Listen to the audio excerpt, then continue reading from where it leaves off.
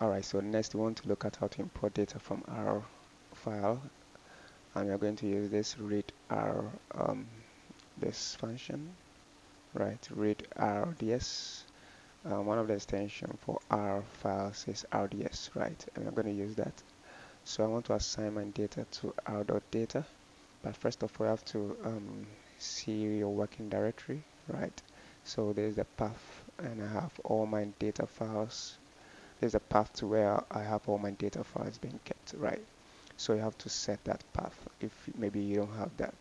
So maybe you can go to um, this and click on and copy this path.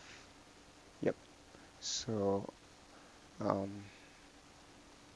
just have to use the set working directory and just use the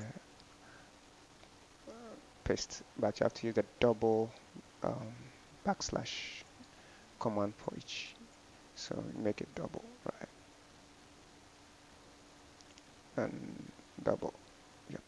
So you can now um, run this to set the working directory. But I've already done this. That's why you can see it. I can see the path to where I have my data files. So I can just ignore this for now and just um, now read my R file. So let me run this. There's one way to do that. So once um, I read this file we have it in our window environment. 30 observations of three variables. Once I click on this I'm basically going to see my um, data in a spreadsheet form right? So that's one way another way to do it is is to load.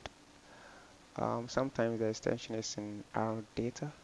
It's not in this format but it's in this format. So in this format you have to load it by using the load function and you have to use the name of the data right? So if you go to my folder there's the name. Yes data and it's an extension of RData so this is different from this. This one is um, our data but the extension is rds whilst this one is RData so we want to load this and basically make use of it. So I have to load it first. So once I load it run. Yep. So um, where do we have it? So let's see if we have it. So um, yep. So we have it as mine data we have it as mine data yep so maybe basically maybe you can use d assign it to d and rerun it again if you want to see it. Yep so um, so once you go to um, d see it as mine data. So uh, we want to make use of mine data. Yep.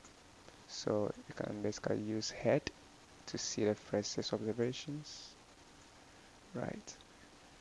Yep so that here we go. It shows us the first six observations of our data set. So the data is in the form of my data not d. You have even, even assigned it to d but d is not um, the data set right? So you can scroll up and go to my data and just click on this which will display it in a spreadsheet form right? So um, this is how to basically import um, is basically how to import data from R in, into R or how to read data from R files right